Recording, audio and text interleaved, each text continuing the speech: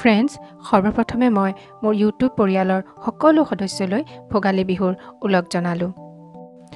আজি মই আপোনালোকৰ লগত শ্বেয়াৰ কৰিবলৈ লৈছোঁ পানীত সিজোৱা পিঠা বা বইল পিঠা। বইল পিঠাটো ফ্ৰেণ্ডছ সকলোৱে বনায়। মই মোৰ পদ্ধতিটোহে আপোনালোকৰ লগত শ্বেয়াৰ কৰিব বিচাৰিছোঁ। আশা কৰোঁ ভিডিঅ'টো আপোনালোকে শেষলৈকে চাব। তেনেহ'লে আহক ফ্ৰেণ্ডছ বইল পিঠাৰ বাবে আগতে ষ্টাফিংখিনি ৰেডি কৰি লওঁ। ফ্ৰাইং পেন উঠাই দিছোঁ আৰু এয়া নাৰিকল প্ৰথমতে এহেটা আৰু এহেটা আৰু এয়া এহেটা চেনি। দুহেটা নাৰিকলৰ গুড়ি আৰু এহেটা চেনি। এইখিনি মই অলপ পৰ লৰাই লৰাই ভাজি ল'ম। আৰু এয়া দিম মই প্ৰায় এচামুচ কোক পাউডাৰ।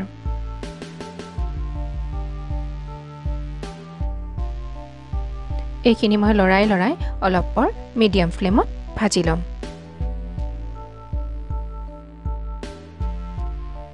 আমাৰ ষ্টাফিংখিনি প্ৰায় ৰেডি হৈ গ'ল ফ্ৰেণ্ডছ বহুত বেছি সময় ভাজিব নালাগে। কল খালি কেঁচা কেঁচা ভাৱটো গ'লেই হ'ল। এতিয়া মই মোৰ গেছটো অফ কৰি দিম আৰু এইখিনি অলপ পৰ ঠাণ্ডা হ'বলৈ দিম। আহক এতিয়া আমি এইখিনি ঠাণ্ডা হয় মানে পিঠাগুড়িখিনি ৰেডি কৰি লওঁ।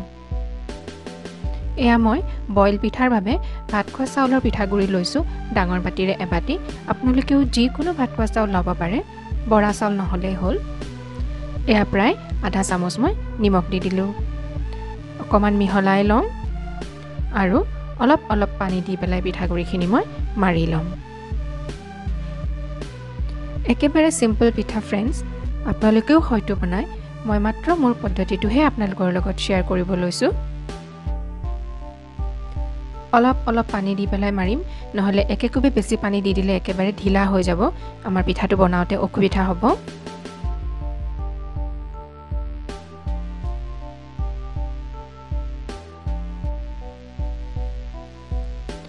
আমাৰ এইখিনি ৰেডি হৈ গ'ল। এয়া। এতিয়া মই ইয়াৰ পৰা এটা এটা সৰু সৰু লাড়ু বনাই ল'ম।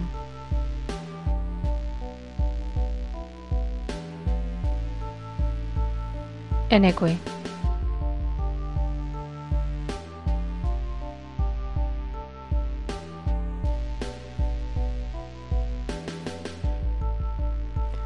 মোৰ লাড়ুখিনি বনোৱা হৈ গ'ল ফ্ৰেণ্ডছ এতিয়া আহক আমি নেক্সট ষ্টেপটো কৰোঁ। এটা সৰু লাড়ু লৈ এনেকৈ একেবাৰে পাতল চেপেটা কৰি ল'ম। যিহেতু এইটো বইল পিঠা হয় ফ্ৰেণ্ডছ গতিকে ডাঠ হ'লে খাই অকণমান মই বেয়া পাওঁ সেইকাৰণে মই পাতলকৈয়ে বনাওঁ। একেবাৰে পাতল। এইখন হৈ গ'ল এনেকুৱা মই আৰু এখন বনাই লওঁ।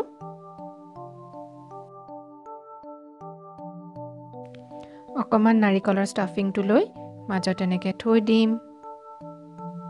আৰু এইখন পিঠাৰে ওপৰত ঢাকি দিম। এনেকৈ ধুনীয়াকৈ ছাইডবোৰ চিল কৰি দিম। ষ্টাফিংটো মই অকণমান বেছিকৈ দি ভাল পাওঁ কিয়নো নাৰিকলখিনি বেছিকৈ খাবলৈ পালে অকণমান ভাল লাগে।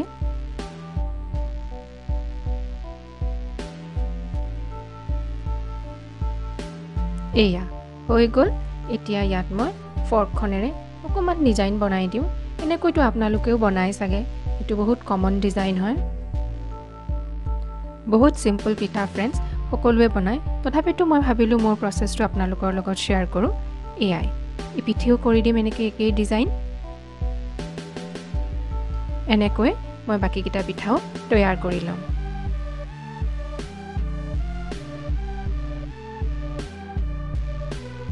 এয়া আমাৰ পিঠাখিনি ৰেডি হৈ গ'ল। আহক এতিয়া আমি এইখিনি বইল কৰি লওঁ। এয়া মই এটা ডাঙৰ কেৰাহীত পানী উতলিবলৈ দিছিলোঁ। ধুনীয়া উতল আহিছে। গেছটো কমাই লৈছোঁ ফ্ৰেণ্ডছ এয়া এটা এটাকৈ পিঠাখিনি দি দিওঁ।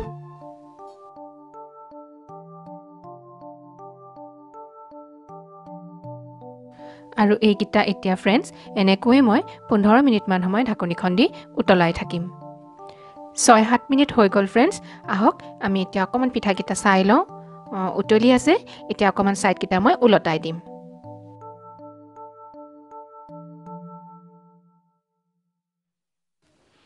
এটা এটাকৈ ধুনীয়াকৈ ওলটাই দিম।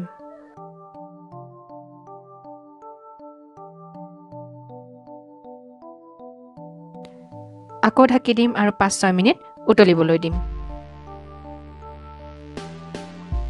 বাও পোন্ধৰ মিনিটছ হৈ গ'ল ফ্ৰেণ্ডছ বৰ ধুনীয়াকৈ আমাৰ পিঠাকেইটা হৈ উঠিছে। আহক এতিয়া এইখিনি আমি পানীৰ পৰা উঠাই লওঁ।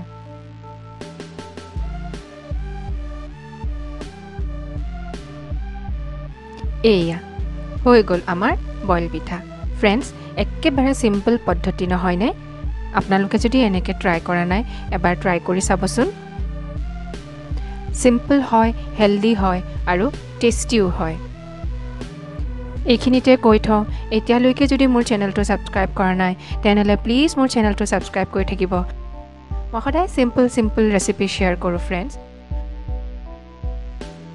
চ' ফ্ৰেণ্ডছ এয়া ৰেডি আমাৰ বইল পিঠা।